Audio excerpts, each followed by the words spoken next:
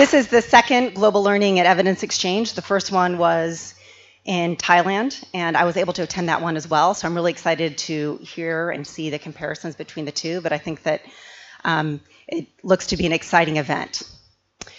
Uh, before we go on, I wanted to just sort of take us back to where we are writ large with global food security and the US government. Uh, as you all know, I'm sure, on July 20th, 2016, President Obama signed into law the Global Food Security Act. Um, this is hugely important for a lot of reasons. First of all, it codifies into law what we've been doing under Feed the Future. It transitions Feed the Future from a presidential initiative to a congressional initiative.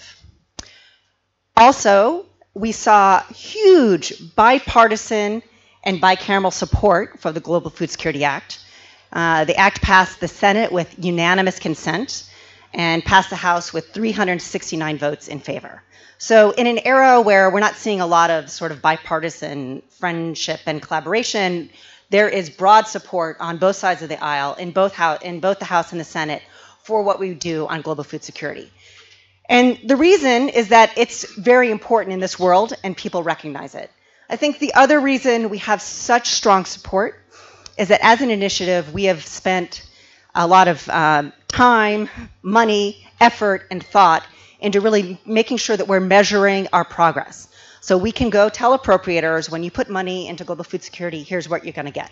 You all have delivered impact at scale, and we're able to measure it, and we're able to communicate that to our um, constituencies on the Hill. So I just want to thank you all for all you've done on that front, doing amazing work, being able to monitor it, being able to evaluate it, and being able to tell people about it. So that's why we're out, we are where we are with the support that we have. Um, so I think everyone thought that this bill would pass much longer uh, before, and that we'd have maybe a year to get together an interagency strategy that would cover you know, all of the globe that we're working on with 11 U.S. government agencies.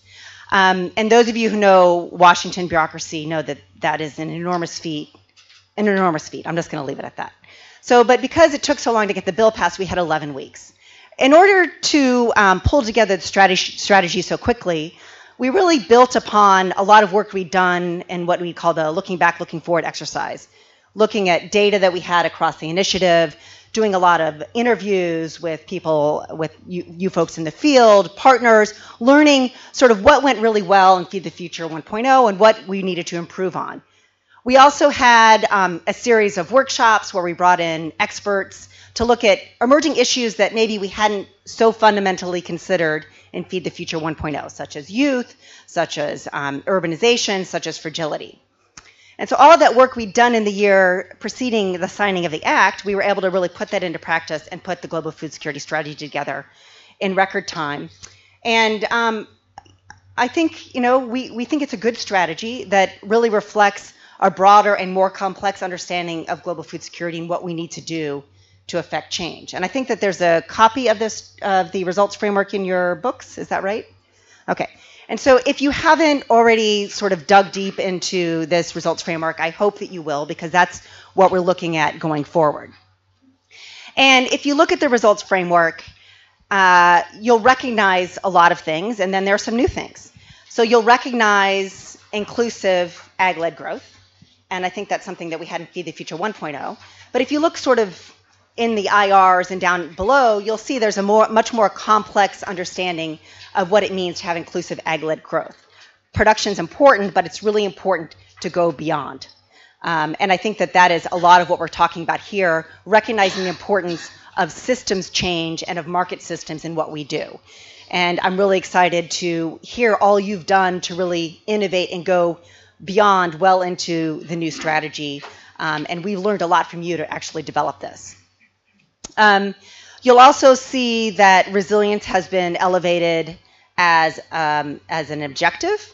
And I think that really reflects our understanding and our need to um, our need to elevate resilience in areas where we have recurrent humanitarian crises, areas where people are living very close to the poverty level, and very small shocks can send them back in. I was just in Uganda last week, where every uh, for every three people who come out of poverty, two people fall back in. And so I think that that really shows why we need to focus on resilience throughout our portfolio. And I think that you all have led the way in helping us understand um, what that means. And we look forward to, to actually working with you on pushing that forward. The third objective is nutrition, which again, you'll also recognize from Feed the Future 1.0. But if you look down in the IRs, you'll see a much more uh, complex understanding of what it takes to really move the dial on nutrition. And again, a lot of that learning comes out of the field um, from you all and also experts elsewhere. Today, we're here to focus on market systems. Um, again, like I said, I think that's something that we've realized we need to focus a lot more on under the objective inclusive ag-led growth. Um, so to achieve our goals, we really need market systems to work so we can do more and so we can do it faster. Um, we want to make sure there's investment throughout the market system, um, through value chains and the enabling environment that's really connecting producers to market, um, better connecting rural to urban, and really generating jobs and demand for local goods and services. Um, Lisa outlined the Senegal example of how what you've really done to um, to really move the market system in Senegal, which has been a very very impress- impressive effort. Um, I think it's very fitting that the markets glee is in Senegal, so we can learn more about the example here, um, and look forward to all of you being able to get out and actually seeing some of that. Um, I'm uh, mad at broader forces that are pulling me out and I can't go on the field trip. I've wanted to go see this project for a long time. But anyway, all of you get to go, so you're all very lucky.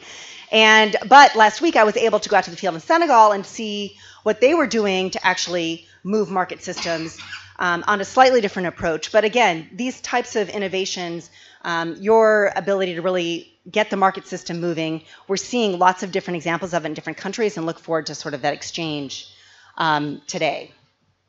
Um, Next, I just wanted to emphasize that when we're working with market systems, we need to make sure and focus our efforts on being increasingly catalytic, recognizing that our development dollars are really a small portion of the pie, and that to really move this, that we need governments to have the enabling environment to invest their own funds in agriculture in the right ways that can fuel the sector, and of course, really work to support and unlock the private sector, which is the engine of growth going forward in the ag sector.